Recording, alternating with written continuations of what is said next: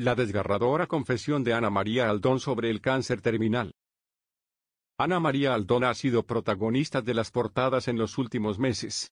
Su situación con José Ortega Cano ha dado de qué hablar, y la ha dejado expuesta frente a la prensa.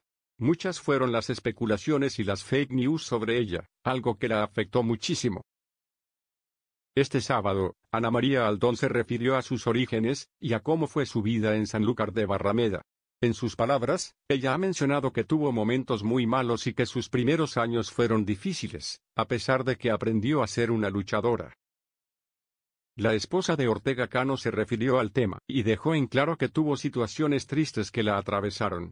En su aparición televisiva, habló de su padre y de lo que significó para ella las cosas por las que tuvo que transcurrir. Nunca he querido pensar en que me puedo parecer a él, la diseñadora ha contado en su participación por Supervivientes que este había sido muy cruel con su madre y eso ella no puede perdonarlo.